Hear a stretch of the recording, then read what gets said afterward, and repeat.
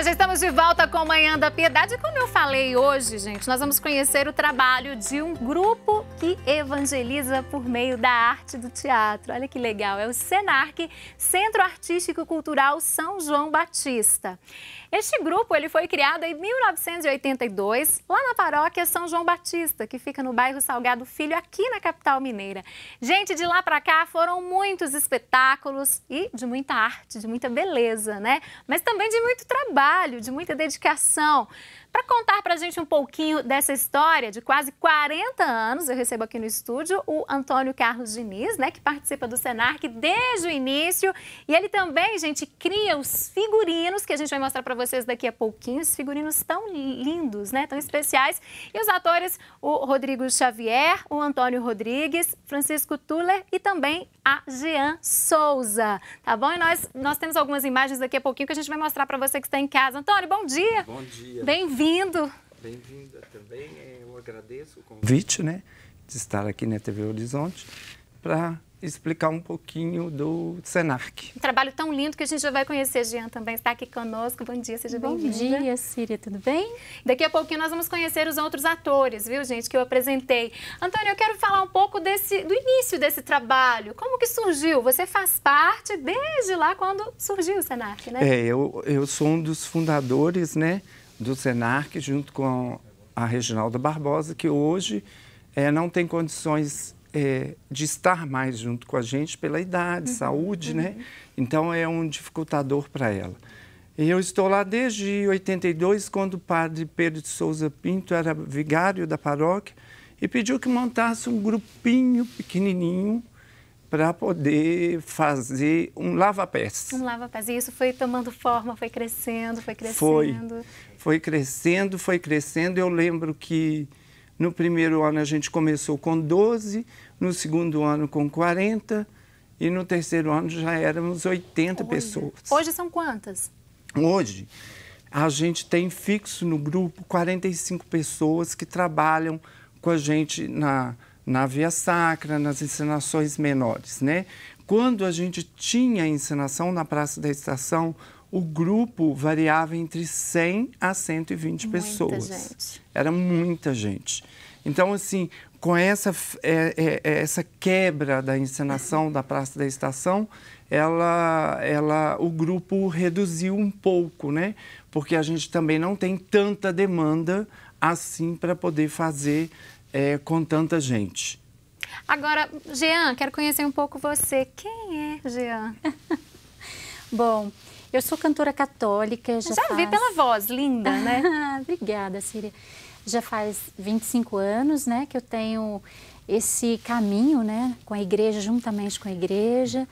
E para mim, assim, também está sendo um presente de Deus, não é? Uma junção maravilhosa do cântico com a encenação. É a primeira vez que você faz esse papel é de Maria? É a primeira vez. E eu sou, assim, devota a Nossa Senhora. Então, quando eu recebi o convite que o Toninho né, fez o convite para mim.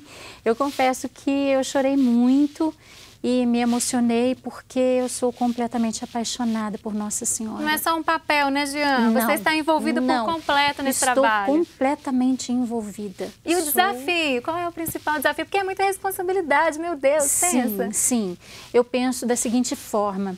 É, quando nós entramos para fazer algum trabalho de evangelização, o grande desafio é alcançar vidas, conseguir tocar os corações. Então, quando nós conseguimos é, que os corações sejam tocados, transformados, que as pessoas verdadeiramente olhem né, para essa encenação que é tão linda, possam verdadeiramente é, ter este contato novamente pessoal com Cristo, e se apaixonar também por Nossa Senhora. E esse retorno é essencial, é muito importante. Nossa, com certeza. Antônio, você também é figurinista? Você estava comentando com ela antes dela entrar ali a belezura, os detalhes, os bordados. Conta pra gente como que você consegue conciliar isso tudo. É, eu, a minha formação é formação de moda, né? Uhum. Então eu trabalho na área de moda. Hoje sou pós-graduado em, em produto de design e, e moda.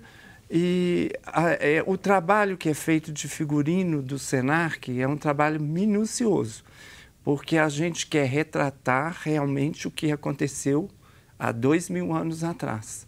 Então, a gente faz uma pesquisa de, de bíblica, principalmente, de costumes, de modos, de como era aquela época, o que, o que se podia vestir, o que não pode vestir, as cores que as mulheres podiam usar, os homens podiam usar, o caso das bandanas, dos lenços na cabeça, quando que podia tirar, quando não podia. Então, a gente respeita Tudo essa. É, essa é, é, toda essa história para poder criar um figurino. E cada ano as peças são diferentes, são peças novas? A gente faz sempre um, dois figurinos novos para encenação.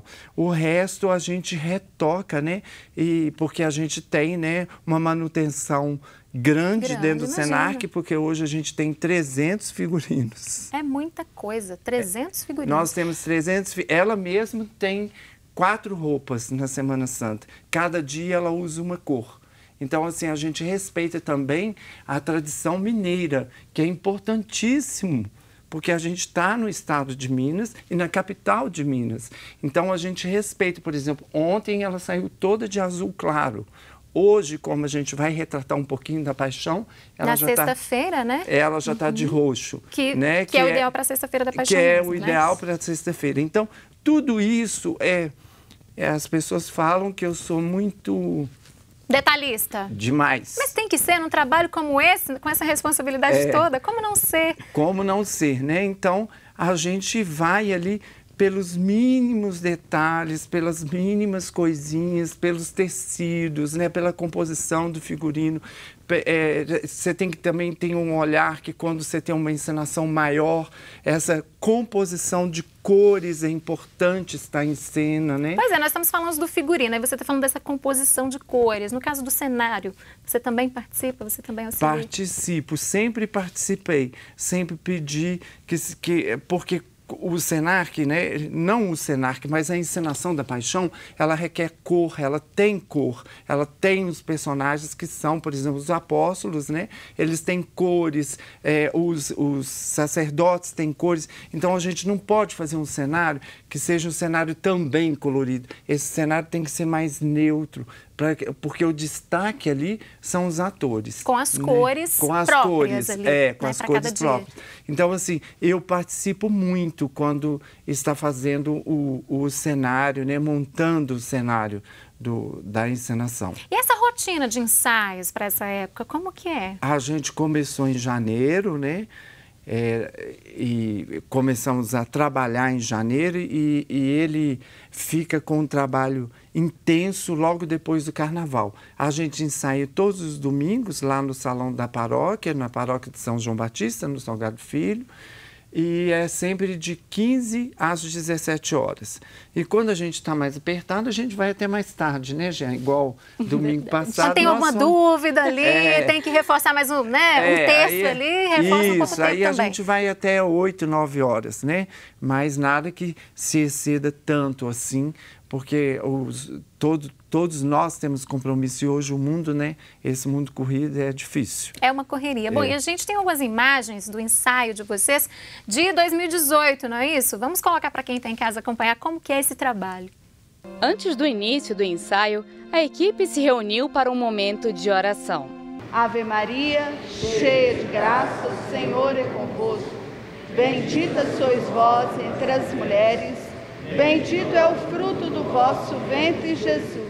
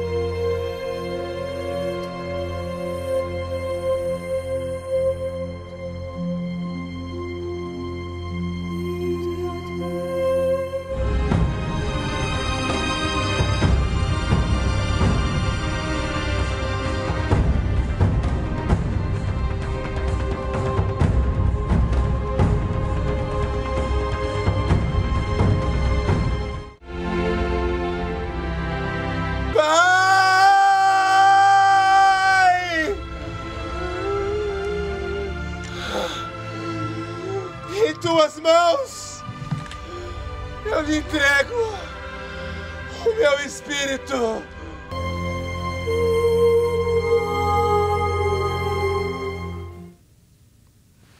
Pouco desse trabalho tão bonito feito por vocês.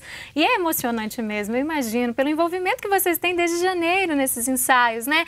Como que, esses, como que é feita a escolha, Antônio, desses atores? A gente viu que é cantora, já participa ali de certa forma, né, da, da, do dia a dia da igreja. Todos eles também têm mais ou menos esse perfil ou não? É, é o grupo tem esse perfil, porque para trabalhar com a vida de Cristo, a gente tem que ter espiritual. Então tem que estar todo mundo alinhado, né, com esse pensamento. É, no mesmo pensamento. Ele está emocionado, gente, mas a gente fica emocionado mesmo. É muito intenso esse trabalho, desde janeiro, e é um momento para refletirmos tanto também, né, Jean? Verdade, você que vai encarar pela primeira vez, pela primeira vez esse papel de Maria. No teatro você, você já atuou em outros papéis? Não, assim, é estreia vai mesmo. a minha primeira vez mesmo, né? É, eu fiz, assim, participei, na verdade, ano passado, no dia 12 de outubro, é, cantando uma canção não é? Mas assim, de interpretar, né? Ainda mais fazer esse papel tão maravilhoso que eu né? representar um É, porque para você representar, você tem que estar tá muito bem preparado. Seguro. Sim. Primeiro, seguro tecnicamente, como ator, né? E depois espiritualmente, porque você não vai ser só um ator ali naquele momento. Você está programado para passar uma mensagem, para tocar as pessoas. E ali. É um momento muito importante. Muito. E não tem como não se emocionar, né? Não. É um trabalho muito intenso. É muito intenso. E esse então, assim, a também. emoção, a gente, a gente no grupo trabalha essa parte. A emoção. A emoção não é teatro, ela é verdadeira. Ela, Exato. Ela, ela brota ela da tem, pessoa, né? Ela tem não que, do ator ela tem que ser verdadeira ali naquele momento. Se ela não for, não adianta ter esse trabalho. Agora, a, a Via Sacra é encenada também, né? Só é. na Paróquia São João Batista ou não? São não, quais lugares? A gente já fez em vários lugares. A gente já fez em Tabirito, a gente já fez em outros bairros da periferia de Belo Horizonte. A gente faz no, no São João Batista e, e agora já virou até um tradicional da gente fazer na Serra, né? Na no Serra santuário. da Piedade. É, no santuário. E esse ano tem encenação lá, né? Tem. Daqui tem. a pouquinho a gente vai falar com você sobre isso, tá. porque os outros atores estão aqui no nosso outro cenário da Ermida, da Padroeira de Minas Gerais, e tem uma encenação. Vou usar isso aqui, gente? É, fiquei na dúvida agora de microfone aqui. Você, é o Rodrigo, né? Isso. Rodrigo, você já há algum tempo, né? Já, já tem algum Ah, o microfone é vocês que não estão com o microfone. Deixa eu passar para você, então. Tá, joia. É, Rodrigo, quanto tempo você já faz esse papel? Bom, eu comecei a encenar a, a Semana Santa foi por volta de 2006, na paróquia, é, lá no meu bairro onde eu moro, e eu entrei para o Senarc em 2009. E quando eu entrei, é, eu já participava né, já, já do teatro, e eu encenava junto com outro rapaz que fazia o Cristo. Então, assim, nós dividíamos as vias sacras, né, as encenações que nós fazíamos na Praça da Estação. Então, estou aí desde 2009 participando no grupo. Que bacana. É um trabalho muito bonito. Deixa eu conversar Obrigado. rapidamente com os outros dois aqui. Conta pra gente você, primeira vez? Eu tenho 33 anos que participo do Centro Cultural. 33 anos. 33. Personagens diferentes. É, a primeira vez fui soldado eu sou Santarião. Tá certo. Bom dia, você. Bom dia. Opa, conta pra gente. Você tá há quanto tempo já? 19 anos. 19 anos. Já e papéis diferentes? Diferentes. Já fui sacerdote, já fui povo e voltei a ser soldado. Tá certo. Vamos mostrar para quem está em casa. Então, vou pedir a Jean para vir para cá também, porque ela participa dessa cena, para mostrar um pouco para você que está aí de casa. Pode vir aqui, se integrar aos demais atores. Então, você aí de casa vai acompanhar agora um pouco de uma encenação né, da Paixão de Cristo, né, que é uma encenação que vai ser mostrada, a gente vai falar daqui a pouquinho, na sexta-feira da Paixão. Pode, pode entrar aqui, por favor, Jean. É com vocês agora.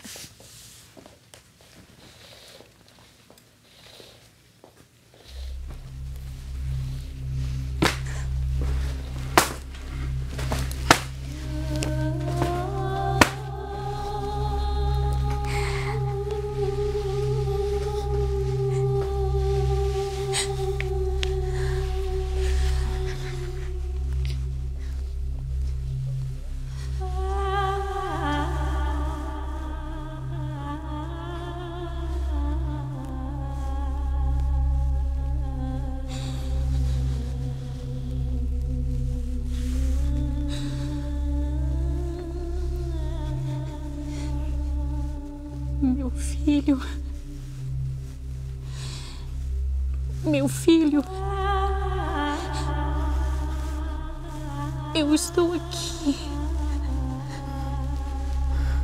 Vê, mãe. Eis que eu renovo todas as coisas.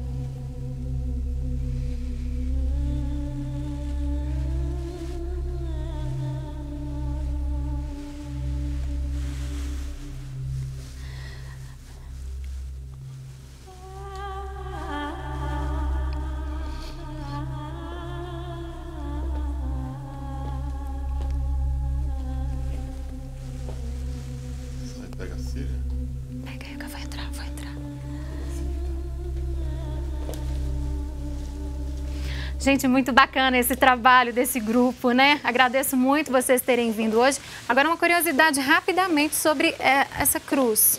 Qual que é o peso aproximado? Bom, a cruz deve ter por volta de uns 5 quilos, não, não deve passar disso não. Tem todo um preparo físico Tem um para preparo isso, né? físico, um preparo técnico, né? Até o, o jeito que você se ajoelha, o jeito que você cai, entendeu? Então tem todo um preparo físico. Tá certo. Muito obrigada, Por viu, nada. por vocês terem vindo. Parabéns. Que Deus ilumine mais essa jornada de vocês, agora na Semana Santa. Amém. Bom com Deus. Amém. Eu vou conversar mais uma vez aqui com o Antônio. Vamos Antônio, sexta-feira, então, agora.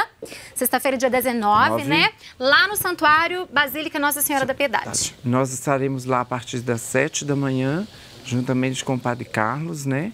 E os padres e o bispo do santuário para fazer mais uma via sacra ao vivo. Essa via sacra ao vivo ela ajuda a pessoa a refletir, né? Nesse dia tão importante, né? Esse dia de reflexão que a gente tem que voltar, né? Nesse mundo tão difícil né, que a gente está vivendo. Então todos estão convidados a É. participarem e acompanharem ao vivo, Vivo. essa encenação na próxima sexta. Sim, na Quantos sexta- atores vão estar lá no santuário? 45, 45 pessoas. atores. É, E você também vai estar lá, é claro. vou. Com Muito certeza. obrigada, Dina, parabéns pelo seu trabalho, Muito obrigada. parabéns por esse trabalho lindo de toda essa equipe, que Deus ilumine vocês, não só sexta-feira, mas nos trabalhos aí durante todo o ano, tá bom? É, amém. Eu agradeço também, agradeço ao público, a todas as pessoas e, e renovo o convite que quem quiser participar com a gente, a gente está lá no Senac, é só ligar para a paróquia ou procurar ah, também a gente pelo Instagram ou pelo, pelas redes sociais e a gente sempre vai responder e vai é, estar sempre de corações Tá abertos. certo. Um grande abraço mais uma vez. E agora nós vamos para um rápido intervalo comercial. Daqui a pouquinho tem o nosso arcebispo e a reflexão sobre o evangelho do dia. Não saia daí.